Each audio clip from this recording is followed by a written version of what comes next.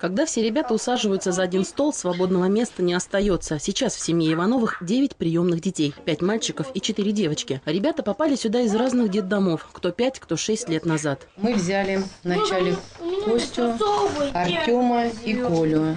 А потом нам Снежанку вот эту вот маленькую дали. Но они были какого возраста? Вот Снежанке было год и восемь, сразу мы взяли.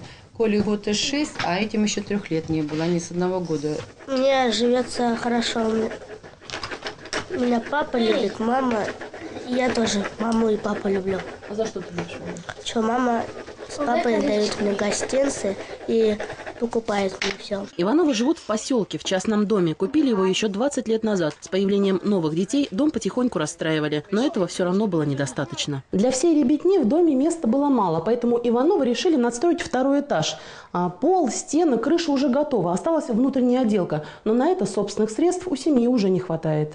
Чтобы сэкономить, строят сами. Благо глава семьи – профессиональный строитель. И все-таки, говорят Ивановы, без помощи им не обойтись. Практически вся зарплата и пособие уходят на содержание детей. Знакомые посоветовали обратиться в приемную премьера Дмитрия Медведева. Просьбу Ивановых услышали. Сегодня о своих проблемах многодетная мама смогла лично рассказать губернатору. Предприниматели Центрального района готовы оказать помощь, в частности, по напольному покрытию уже договорились в настоящий момент.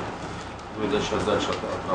Комплексной программы субсидирования строительства для приемных семей в регионе нет, а их в Тульской области немало, около 500. И жилищный вопрос для этих семей один из самых актуальных. Губернатор пообещал ситуацию исправить. Давайте сделаем комиссию и давайте миллионов 10 рублей заложим на следующий год.